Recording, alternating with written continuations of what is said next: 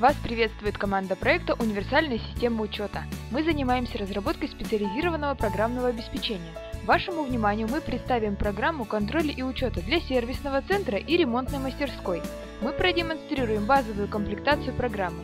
Также есть возможность индивидуальных доработок. Программа запускается с ярлыка на рабочем столе. Появляется окно входа в систему. Каждый пользователь может работать под отдельным логином, который защищен паролем. Также у каждого сотрудника могут быть индивидуальные права доступа, чтобы он видел лишь ту информацию, которая входит в зону его полномочий.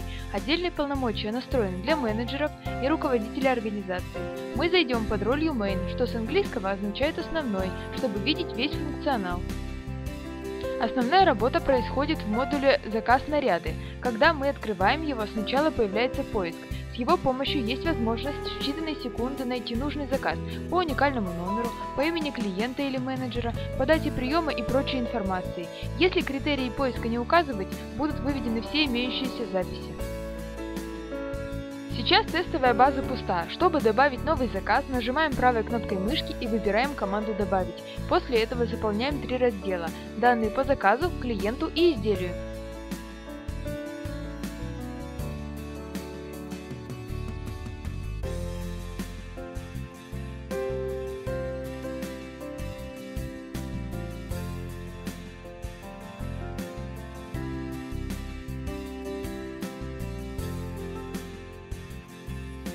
Клиент выбирается из единой базы клиентов.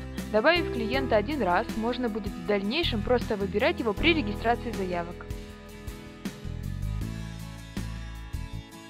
На вкладке «Работа по заявке» заполняем оказываемую услугу, стоимость для клиента, результат выполненной работы и каким сотрудником эта работа выполнялась.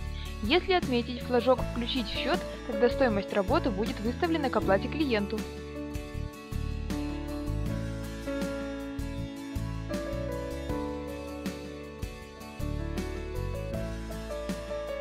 Вкладка «Материалы» обеспечивает связь со складским учетом. Если на выполнение данного заказа были использованы какие-то товары, их можно списать с определенного склада. При этом также присутствует возможность включать или не включать в счет клиенту стоимость потраченной продукции.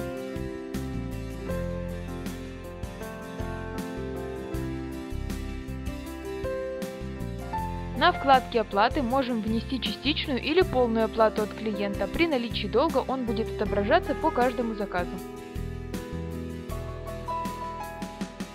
Кроме этого, есть возможность даже прикреплять изображение к заказному ряду. При оформлении определенной документации это изображение также будет распечатываться на бланках.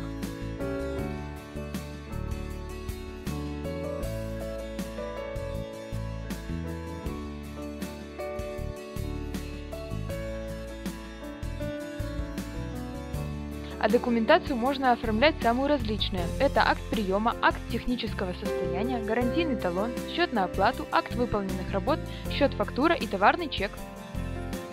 Если у вас, кроме услуг ремонта, есть продажи, они также могут учитываться в нашей программе. Причем работать с товаром можно как по штрих-кодам, так и без них. Есть возможность продавать имеющийся товар и принимать заказы на приобретение продукции для клиентов.